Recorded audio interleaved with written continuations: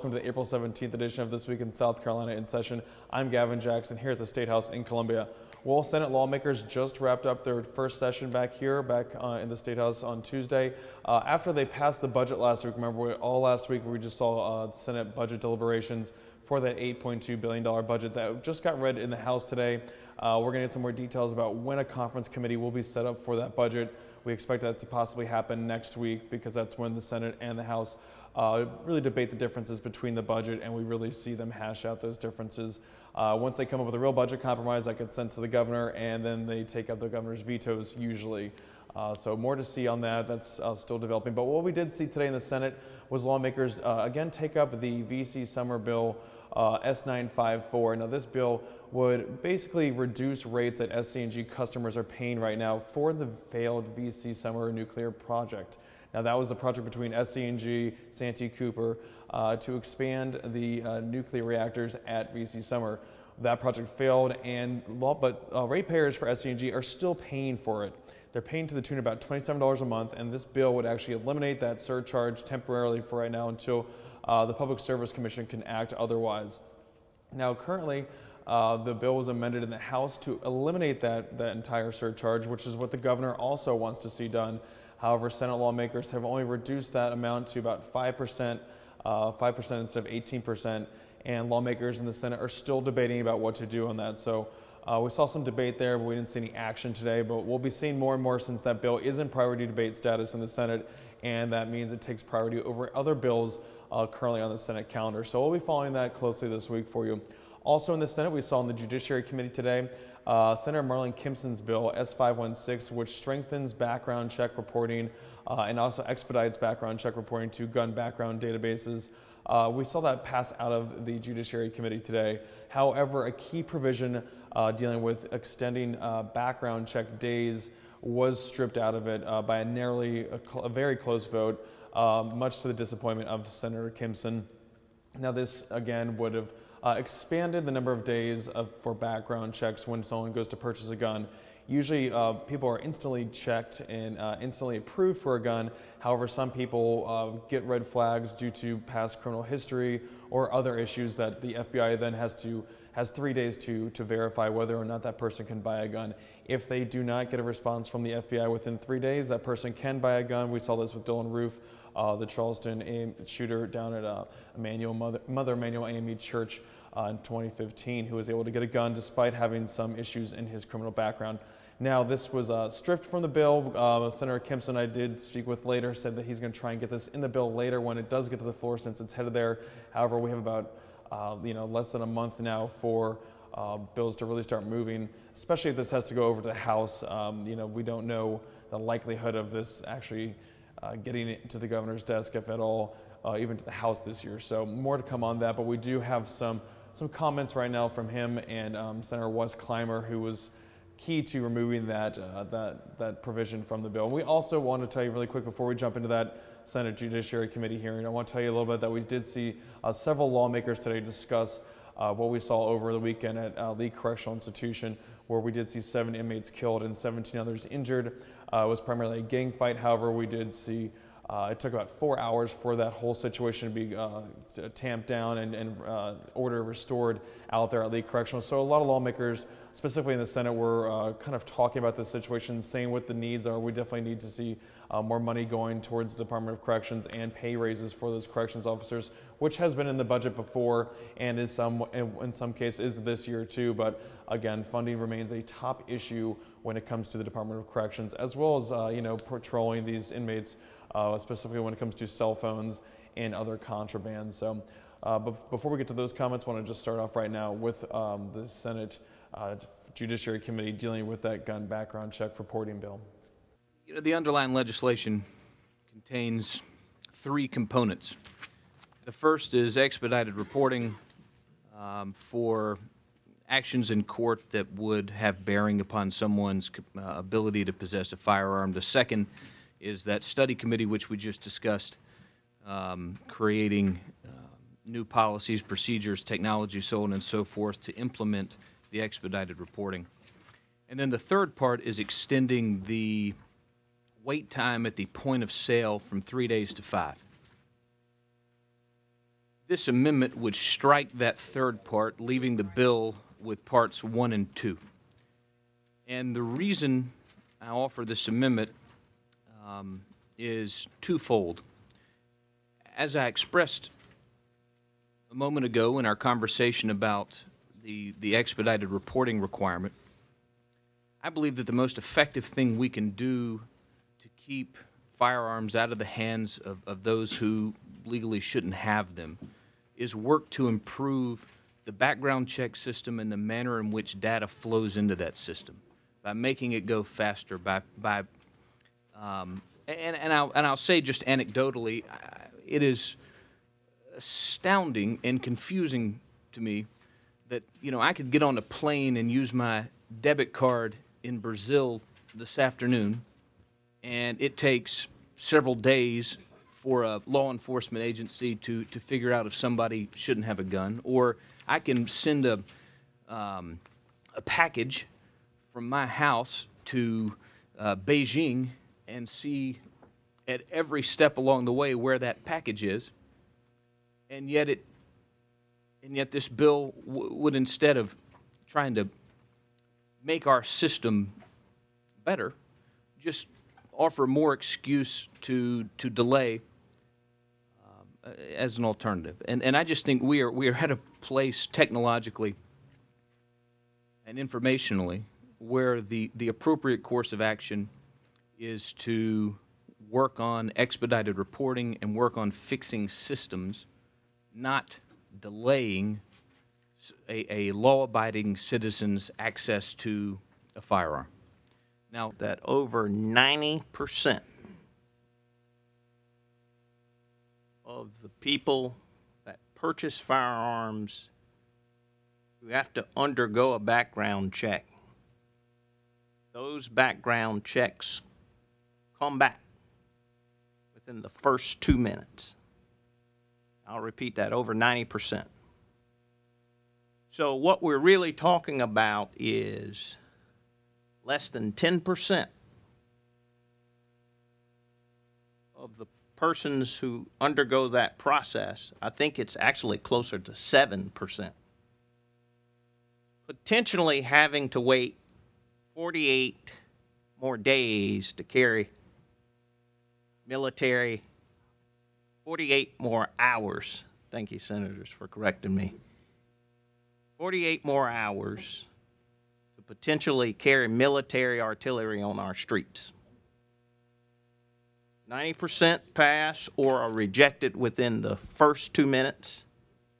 We are now talking about less than 10%, closer to 7% of people having to wait 48 more hours. Now, let me just read to you the categories of why people have, may have to wait a little longer. These are the prohibited categories of why the FBI determines that people can't have a gun. If you're convicted of a crime punishable by more than one year or a misdemeanor punished by more than two years, if you're a fugitive from justice, there's a misdemeanor crime of domestic violence conviction, if you're an unlawful user addicted to a controlled substance, you're a state prohibitor, if you're you if you have a protection or restraining order for domestic violence, if you're under indictment, if you're adjudicatedly mentally ill, if you are an illegal or unlawful alien, if you've been federally denied or dishonorably discharged, or you've renounced your U.S. citizenship. Citizenship. So those are the prohibitors, and we're talking about less than 10% of the people potentially having to wait an additional 48 hours. Most of those come back before then, but those are the prohibitors. And like I said, several senators did weigh in on the riots and fights that happened at Lee Correctional Institution Sunday evening into Sunday morning. Uh, again, it took about four hours for uh, those uh, fights to be tamped down by authorities. That these fights did happen in three of the dorms at Lee Correctional, which is a maximum security uh, prison in Bishopville. Now, several lawmakers were talking about the need for more funding for Department of Corrections. There has been more funding for uh, corrections officers. However, like many state agencies, they are still woefully underfunded. And we uh, have seen reporting come out in the newspapers looking at how just understaffed and how uh, dire some of the conditions were for these inmates. And we did hear from lawmakers and what they want to see done, especially uh, Senator Thomas McElveen, who represents that Lee County area when he wants to see um, an investigation done into why this is a consistent problem, especially at Lee, uh, where we did see these seven inmates killed and 17 others injured due to uh, gang violence over territory in the prison, contraband such as illegal cell phones, and uh, just uh, cash also, and, and controlling uh, outside uh, endeavors as well. So a lot of different factors at play here when it can when it comes to what fueled those fights at Lee Correctional. But here's what lawmakers want to see done to fix it going forward. But I think if we had more folks there who could do those jobs to keep order in those prisons, then you probably keep, do a better job of keeping contraband out of there. And going back to the sheriff, you know, he's told me on several occasions it's a matter of time before somebody gets, gets a firearm in that, in that prison.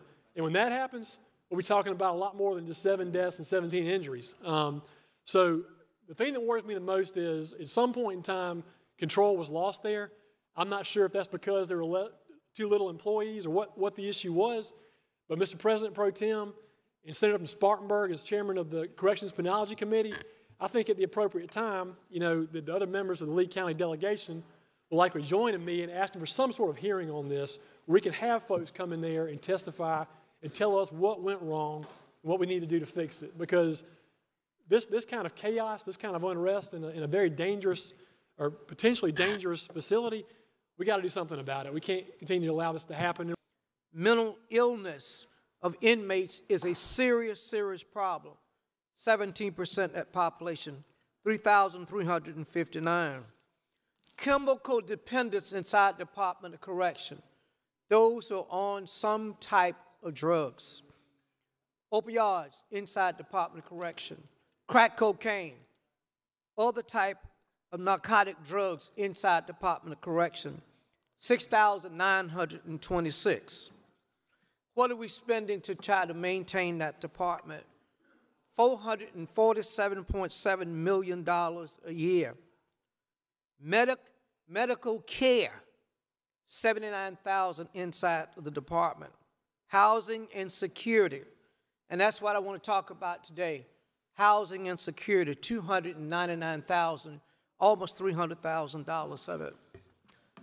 When you really pinpoint some of the concerns that we must address so that we don't have the same repeated kind of incident, it's in level two and level three medium security and maximum security. Maximum security, which is 36.8%, medium security is 46.5. This is the targeted area where we, we have we've got the most concern. And I say to the Senate, we did a good job this year by trying to increase the pay. In minimum security, we pay about $32,500. Maximum security is about 34,596. We've got to increase the pay in order to provide better security. The House stood in a moment of silence for those killed at Lee Correctional Institution over the weekend and their families. Thank you, Mr. Speaker. Ladies and gentlemen, just want to take a minute um, without any editorial comment, but we all know uh, in this body the tragedy that occurred in, in my district in Lee County over the weekend and the loss of life that's, that's happened there. Um, regardless of a lot of other factors, those are people's loved ones um, and people who uh, work in that facility. I just ask that the House uh, have a moment of silence for all that are involved in that situation. Members, let's all stand for a moment of silent prayer, not only to remember those who lost their life in the terrible tragedy in Lee County, but in prayer for their loved ones who are dealing with this immense tragedy.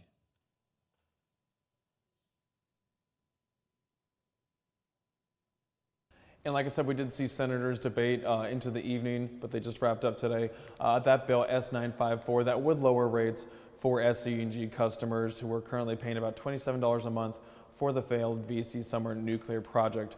Now, they didn't take any action today, so I don't really have too much to show you.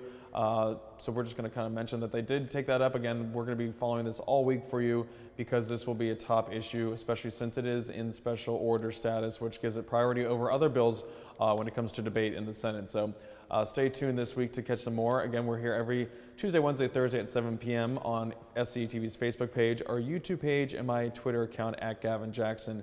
You can also check us out online at scetv.org, where the State House Daybook is there every Tuesday, Wednesday, and Thursday.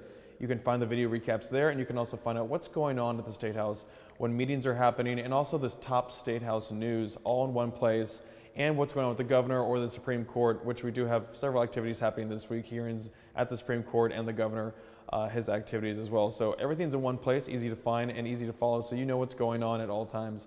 Also, you can check out the South Carolina Lede podcast. We uh, give you a new one every Tuesday, which is today. So definitely tune in. You can find the links on scpublicradio.org or subscribe through your uh, Apple Podcasts app, which is right on your phone or wherever you get podcasts. Is that that's the South Carolina LEDE, where we go behind the headlines and get some more context from the state's top political reporters from the Post and Courier and some of the issues that they're covering, as well as what's going on up here at the State House. So you have an idea, a little bit more context, a little bit more insight about what's going on up here at the State House. And be sure to listen to South Carolina Public Radio every every day for news headlines, and on Fridays especially when Russ McKinney recaps the legislative week with State House Week. I'm Gavin Jackson for SCE TV at the State House.